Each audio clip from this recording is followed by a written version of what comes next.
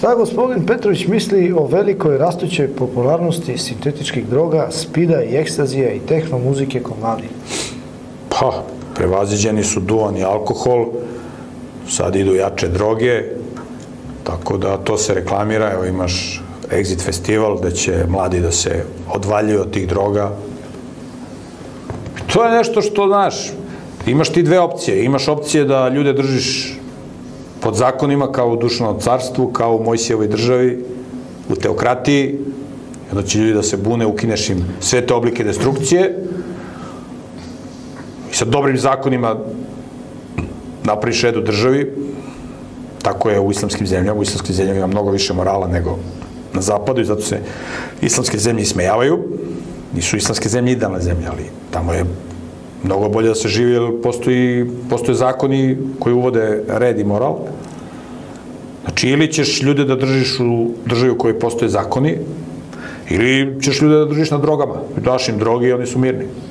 I onda oni se drogiraju ideš speed, ekstazi, utakmice, alkohol, pivo, košarka, nasilje, divljaštvo, diskoteke, maturske večeri, ekskurzije, razumeš? I onda ih ljude držiš na drogama, oni su drogirani ko ovi u Lazi Lazarević, u ovim ludnicama. Razumeš, dođe ludak, ti ga staviš na tablete i on spava po ceo dan, on je ceo dan drogiran. Tako ti celo čovečanstvo držiš na drogama. Ekstazi, speed, alkohol, utakmice, reality.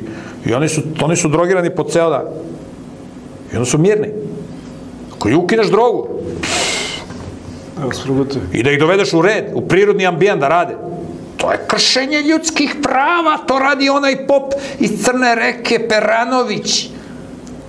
Razumeš, ti ako ljude dovedeš kod Peranovića da ih on dovede u red, to je kršenje ljudskih prava, nije to kršenje ljudskih prava, to je kršenje sotonskih prava, jer Sotona misli da ima prava.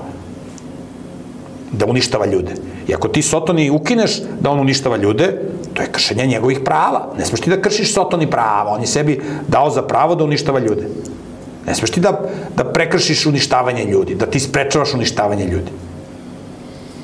Tako da, klasična satanizacija čovečanstva, ali ko je pametan može se sačuva jedan vremenski period, ako se budeš mnogo eksponirao da pričaš protiv satanizacije, onda ćeš da iskučiš na naslovnoj strani ovih medija, da te prikažu kao ubicu, nadri lekara, šarlatana, teroristu, i onda ćeš da zaglaviš kao doktor Branislav Peranović u zatvoru, tako.